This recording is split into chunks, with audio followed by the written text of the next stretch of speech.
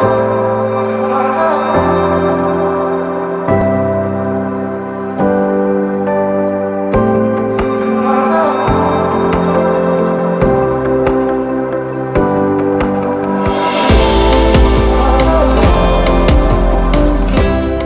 are leaving Baltimore. It's a beautiful day. We planned it that way. Always checking the weather. We enjoyed our time in Baltimore at the Anchorage Marina. We're going to go under the uh, F. Scott Key Bridge here.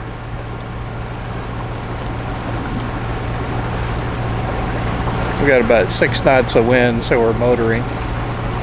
And actually, probably be motoring through the night. We're gonna head north up the Chesapeake and go through the C and D Canal, Chesapeake and Delaware Canal.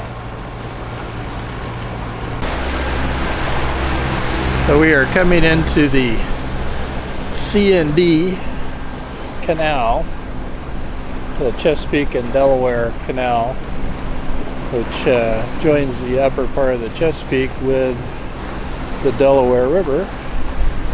It's a nice day. We are uh, in the ship's channel, uh, obviously keeping an eye out for ships, because uh, right outside the ship's channel, we got lots of fishing floats. So we are headed up here. We're pushing it with both engines running because we're trying to uh, time the tide and daylight. So the tide is starting to turn in our favor right now, so we're going to get a little boost from the current. And we want to get through the canal in daylight. See how it goes. We only have one bridge to worry about, and that's a railroad bridge that most of the time is up. We shall see. So we are about halfway up the C&D Canal. You can see it's fairly narrow through here, but the water is fairly deep right over to the uh, shore. We're uh, making about eight half knots right now. We were making over nine knots earlier because of the uh, current, so we timed it so we would be uh, on the rising tide, and so the current is in our favor so we are taking advantage of that. We should hit the Delaware River probably around 7. It's about 5 o'clock now, so we got about another two hours to go.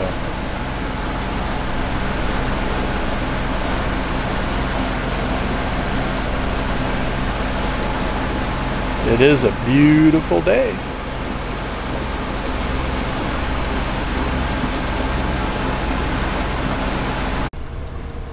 So this is the railroad bridge over the C&D Canal and we just had a train and so they are now raising the bridge to let us through which is awfully nice of them. We just timed it so we met a train. You know, it's just like commuting to work and the train gets in your way. It's about half up.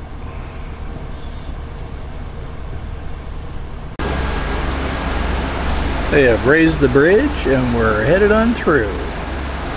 We went from 45 feet of clearance to 130. Plenty for our 72 foot mast.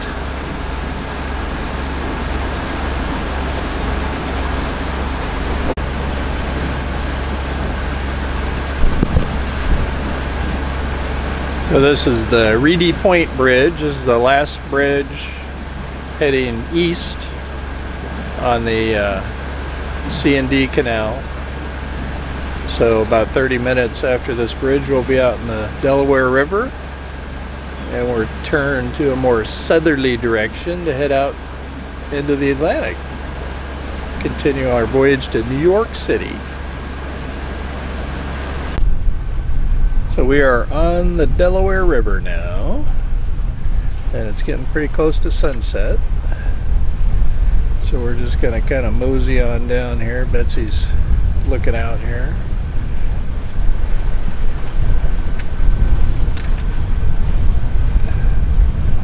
We're just gonna mosey on down the Delaware tonight and tomorrow morning we'll be coming out into the Atlantic.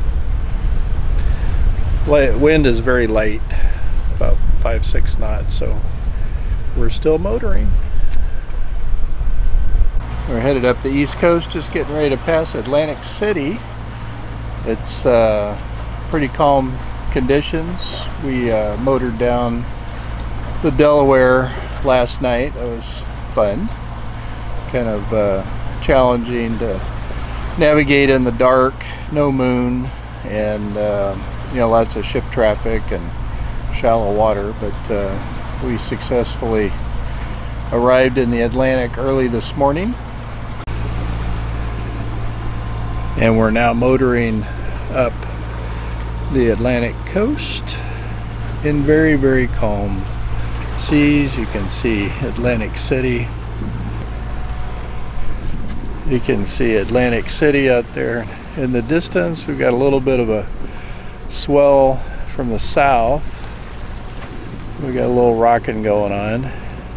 And we're supposed to get some additional wind. Few other boats out here with us. And so we're hoping that we'll be able to put the sails up here soon.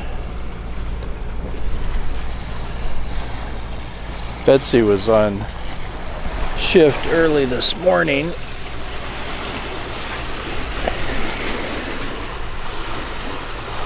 And she saw some dolphins.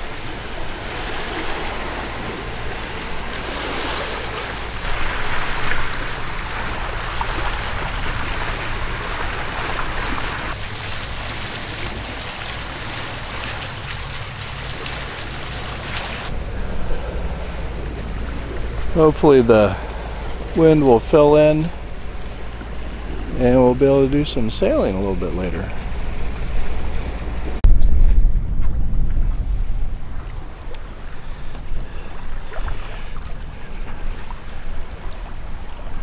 So we have our head sail up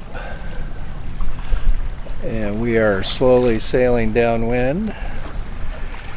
At this point of sail we probably could get the main up too but we're only supposed to have this wind for a few hours and we're actually needing to slow down. We find ourselves in this situation a lot. I guess that's conservative planning, but uh, if we speed up by putting the main up, which if we put the main up, we'd probably end up doing six or seven knots we could get to New York Harbor before daylight, which is not what we want to do since we've never been there before. You can see Atlantic City is moving towards our stern. They had an air show there today, but uh, we were too far away really to see anything. So we're doing about three and a half knots. Should be into New York early tomorrow morning. So it's uh, about 8.30 at night and uh, excuse me 10.30 at night and I'm on watch we're coming up into New York. We will be hitting the outer um, reaches of the harbor in about uh, 10 hours. So right about uh, a little after dawn. A lot of people ask us, well, what do you guys do at night? And basically we just keep on going. And uh, they're like, well, how can you see anything? And you really can't we have to keep on going at night and you can see you can't see much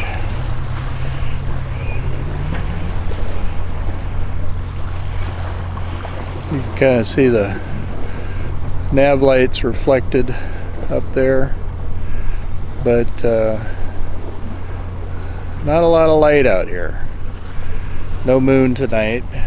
Every once in a while you can see some sort of a light on shore, a navigation light out, but uh, basically if it doesn't have a light on it, we're going to run into it, which is not great, but if you're going to sail long distances, that's pretty much what you have to do. So another 10 hours and we'll be heading into New York Harbor.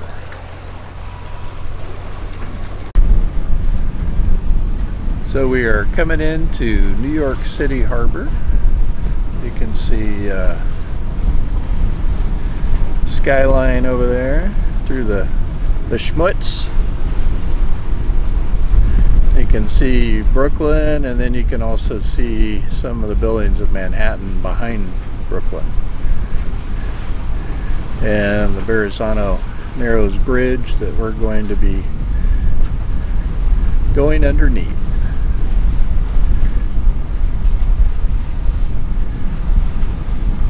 Entering harbors like this, the challenge is staying out of the way of the uh, large commercial vessels, like this one right here.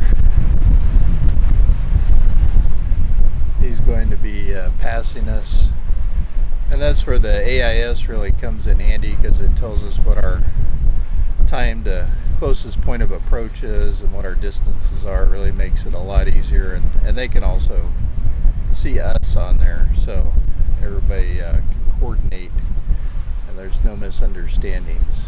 Plus they're traveling in a designated ship channel that we stay out of and that keeps us uh, keeps us all safe.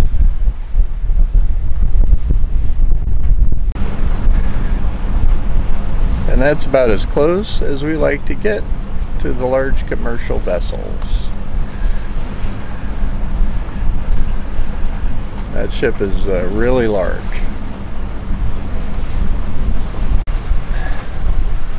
That's where the mylar balloons end up after you let them go.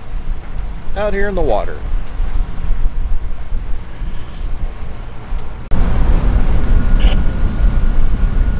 Now we're passing through the Verrazano Narrows Bridge. Looks pretty busy for a Thursday morning for quite a few years this was the longest span suspension bridge in the world until 1981 actually. It's built in the 50s and commissioned in the 60s and we are headed straight back there. We're gonna park near Statue of Liberty We're coming into the uh, upper harbor and there is Manhattan.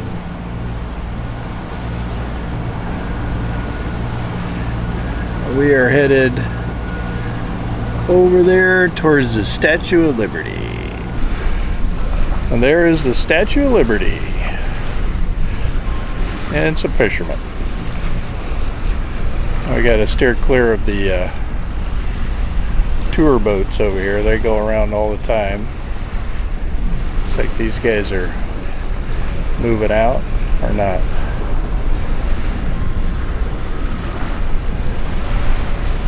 So this is our anchorage for a couple nights. We are front row seat for Manhattan. There's a Freedom Tower right there.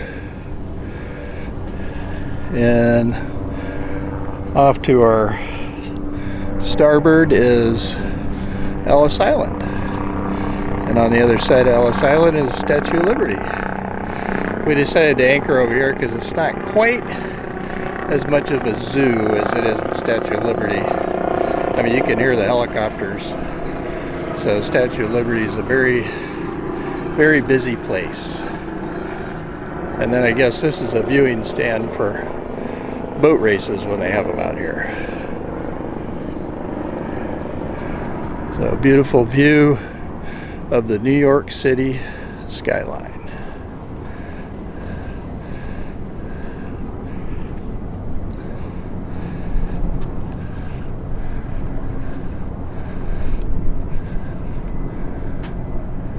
Just keeps going.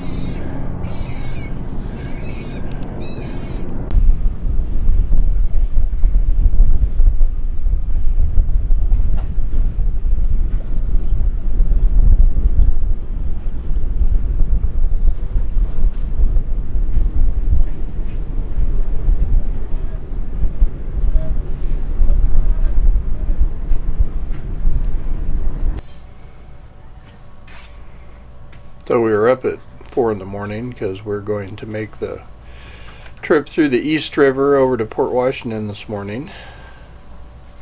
And we have been given local knowledge that the trip is best made or started two hours after low tide. This is to uh, try and catch the currents in a positive manner through there because uh, they can get pretty intense up to five knots in some places. So we'll be leaving in about uh, half an hour up in the anchor and uh, should be about a three and a half hour trip over to uh, Port Washington and we'll re-anchor over there. So we have left our we had left our anchorage by the Statue of Liberty. We're actually over here it's Ellis Island and we were over here by that viewing stand over there. So we're headed up the East River. Not quite daybreak yet. Headed up the East River right at daybreak. Gotten some information from locals that this is the right time to go through the East River to avoid adverse currents. See how it goes. So we are on the East River and we have uh, the Brooklyn Bridge and the Manhattan Bridge right in front of us. I'm going to go under those first. So we are uh, coming up on Rikers Island. We just went through Hell's Gate and uh, right now we've got uh, 10 knots over ground and 5.5 through the water. Uh, we've seen the current we've seen the current as high as six knots through here. So local knowledge was very helpful because we're going with it. Obviously we had six knots against us. That would be very very bad. You can see how roiled up the water is It's a beautiful day though.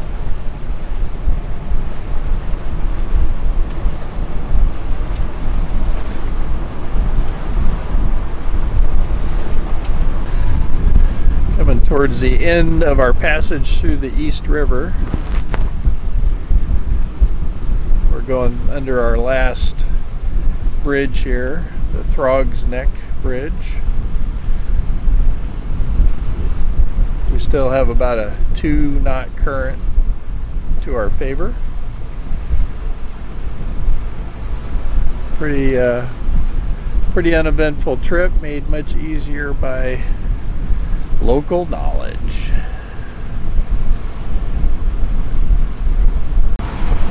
We're entering Manhasset Bay, where we're planning on anchoring for a little while. Town of uh, Port Washington is in here. And it's about 8.30 in the morning. We had a nice successful run through the East River. And got Saturday, so fishermen are coming out. Other people are bringing their boats out to enjoy the day. So we are in Manhasset Bay. We're anchored out. You can see some moorings in there. These are the city moorings over here, which we'll probably pick one of those up next week. And that's uh, Port Washington right there.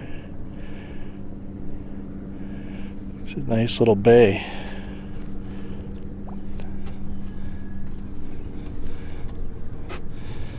Nice little bay.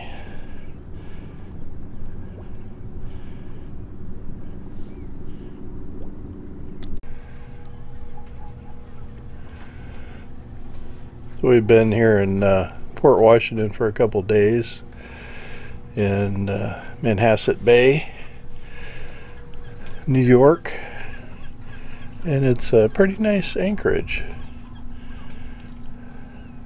Sun's just coming up this morning. It's pretty calm.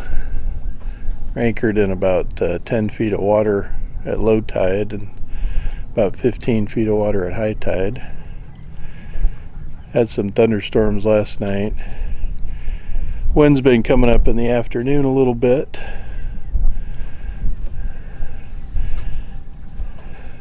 You can see there's quite a few moorings here, but we're on anchor just outside the mooring field.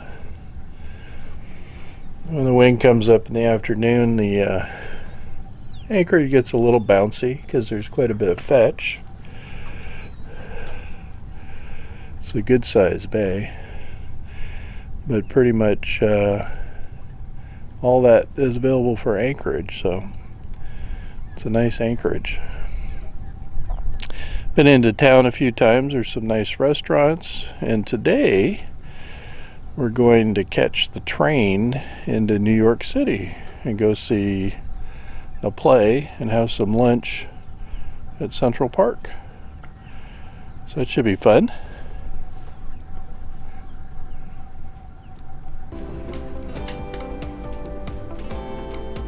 So thanks for watching our uh, voyage from Baltimore to Port Washington, New York.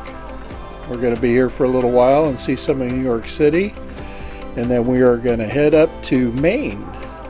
So uh, look forward to seeing you again on the channel. Please hit the like button and subscribe so that we can put more videos out there. Take care.